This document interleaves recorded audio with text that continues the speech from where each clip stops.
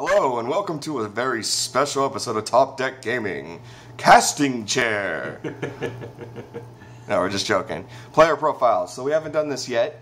Uh, so, here is some information on Juan. What's going on, guys? Uh, welcome back to Top Deck Gaming. And uh, like Zenosis said, you know, we've done player profiles for other players that we've like come in contact with throughout the last year uh, playing the going to tournaments like in Modesto and Sacramento and the ones here in Fresno, or the, the one we had in Fresno. But uh, I realized we didn't have any for like ourselves, and so to give you guys a little bit of insight on like who we are um, and uh, why we love Naruto, so jump right into it. So as a lot of you guys already know, uh, my name is Juan Robles, aka uh, Stan Nelson, and uh, I've been playing Naruto for a little bit over 10 years now. Uh, I started playing back uh, in high school. It was kind of uh, coincidental how it happened.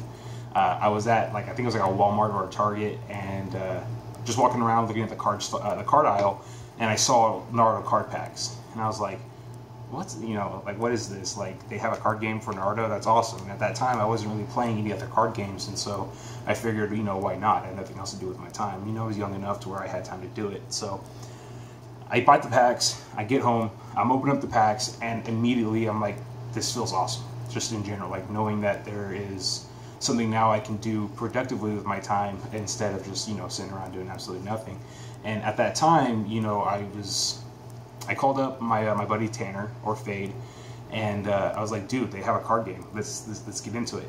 At this time, I didn't know that there were starter decks that came with the rulebook, and so while we were building decks, we literally kind of made up the rules as we went because you know we weren't smart enough to realize that maybe there was a way to play this game and so you know past all that uh, 10 years later here i am uh, with my play group and now we're uh, we're kind of we're faces of the naruto ccg community uh, especially the one on facebook uh, we recently had a, a, big tournament here in Fresno where we hosted uh, some NY players that came through. A lot of people from like Los Angeles came out and stuff like that. Uh, and so it's really cool to see that um, that there's been like this resurgence uh, of Naruto, and so you know even though the game has been discontinued for some years now, uh, people are still actually trying to hold tournaments, make the game better for people, uh, giving out support, prizing, things like that in terms of tournament play. And you know, a lot of people still really love this game. So that for myself makes me feel really good about like what we're doing, uh, especially I think it was like five five or six months ago. You know, we started a YouTube channel, Top Deck Gaming, and uh, at that time we were the only ones really putting out Naruto content. But in the last like month or two, there's been a lot of resurgence uh, for like YouTube content. Like uh, Anthony Hernandez is all about you channel. You know, he's doing awesome uh, with that. He has a bunch of subscribers. You know, he's putting out great content for everybody. Additionally, I think AC Castro came back with uh, YouTube content, so that's really cool. He's put up a couple of videos.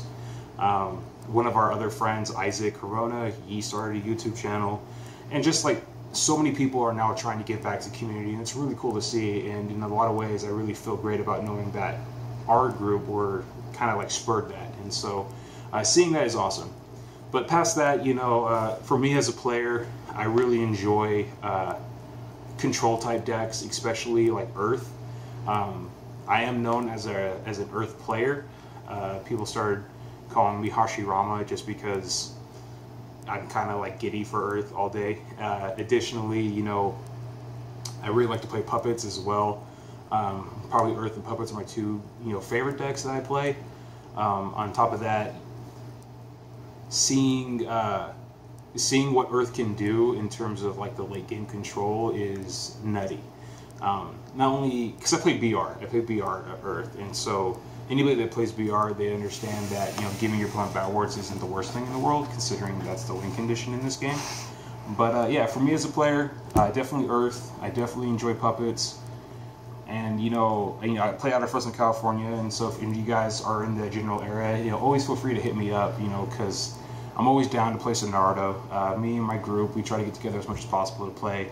Um, we're always trying to think of new uh, spicy techs for uh, for uh, decks in general, uh, and especially now with uh, seeing how good good cards that deck is, and seeing how good like TA is. I mean, they've always been TA's always been good, but good cards has recently been a really powerful deck type to play now since I think it was like 2014 or 15 Gen Con Scott Dashy's deck, you know, pretty much.